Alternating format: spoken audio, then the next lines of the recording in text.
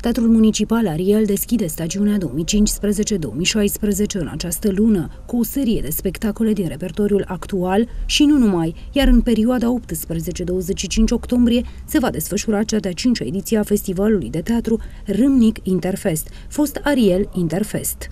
Pe parcursul acestei luni, la Teatrul Vâlcean pot fi urmărite scene precum Cerere în căsătorie, Cehov, Dale Carnavalului, Ile Caragiale, Arlechino, un spectacol inedit de comedia de arte, și spectacole pentru copii, cărora li s-a dat o nouă întâlnire cu Pinocchio. Cap de afiș este însă o nouă ediție a festivalului Râmnic Interfest. Directorul artistic al acestui festival este Ștefan Iordănescu, pentru că l-am prins aici și l-am rugat să fie și director artistic al festivalului, în calitatea sa de director artistic, realizând selecția spectacolelor. Așa este normal și așa fac toate festivalurile serioase.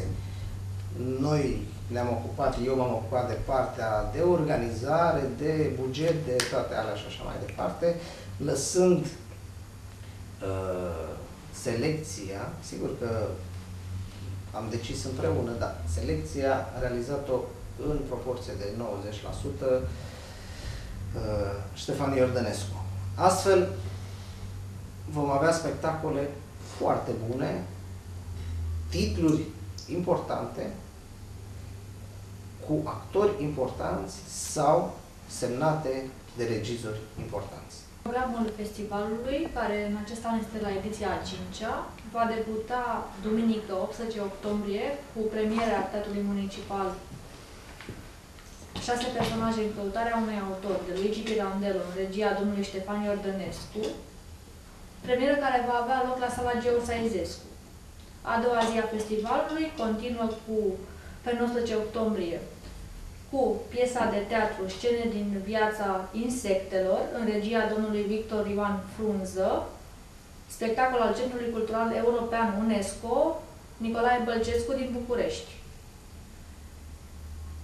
Ă, cel de-al doilea spectacol de pe 19 octombrie, de luni, este la Grand Hotel Sofianu, amintiri din epoca de școală, de Mihaela Mihailov, regia Radu Apostol, și apoi, marți, 20 octombrie, începe o serie de uh, workshop-uri susținute de Stefano De Luca de la Piccolo Teatro din Milano,